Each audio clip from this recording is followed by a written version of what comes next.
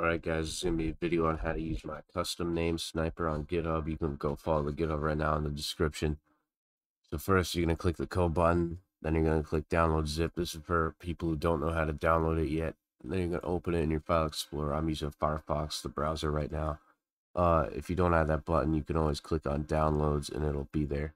So first you're going to click extract all. That's going to make a new folder because you can't do this in a zip file.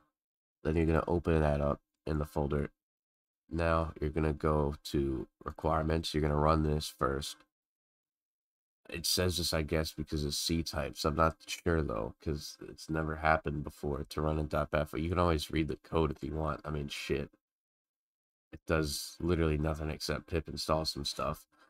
So, there's valid names. I think this is about to open in code. Uh, here, let me just open with Notepad. So it's empty right now. That's all right. Now, in names, you're going to put a list of names that you want it to check. So let's say I wanted it to check. Right now, I have 230,000 names that I want it to check. That's fine. To get a list of names, I would just search common English words.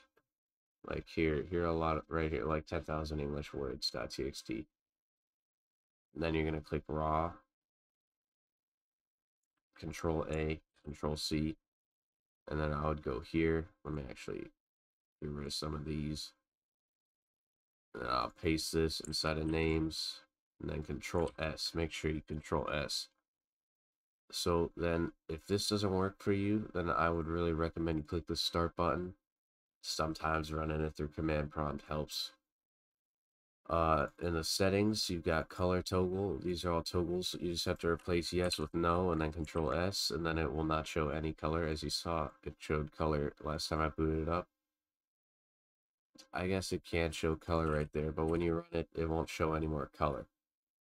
Uh, but if I do click yes, and then I go back here, and then I start it, then it will show color.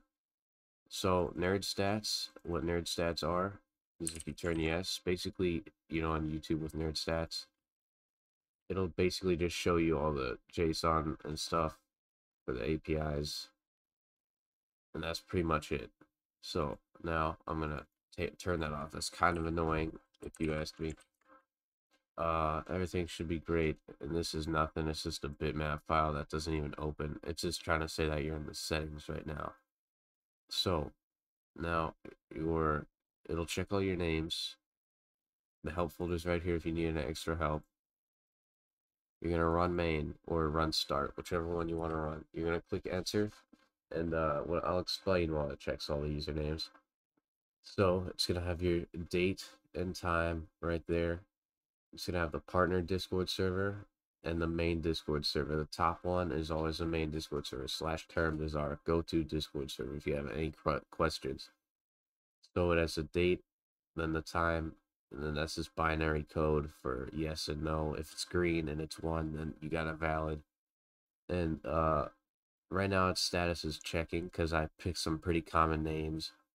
But when it does say valid, it will be green and then say valid, depending on if you have color or not and it'll put a 1 here, and then this will be uh, green as well, I'm pretty sure, or it might be gray.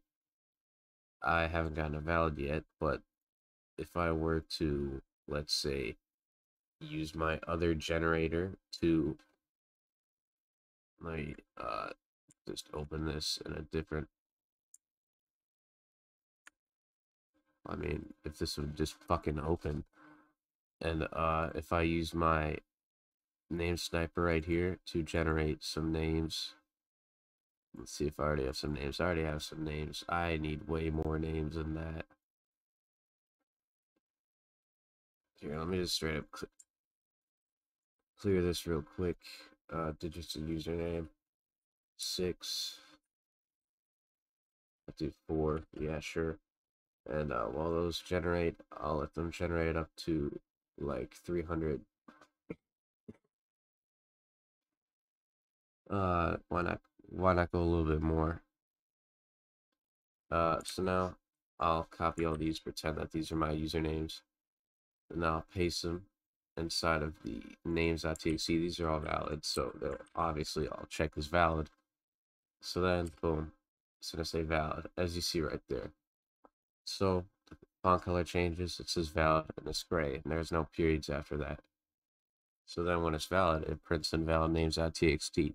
So you could leave this running all night on anything you really wanted to. And then you didn't even have to check through here. You just checked valid names.txt. And then those are your valid names right there.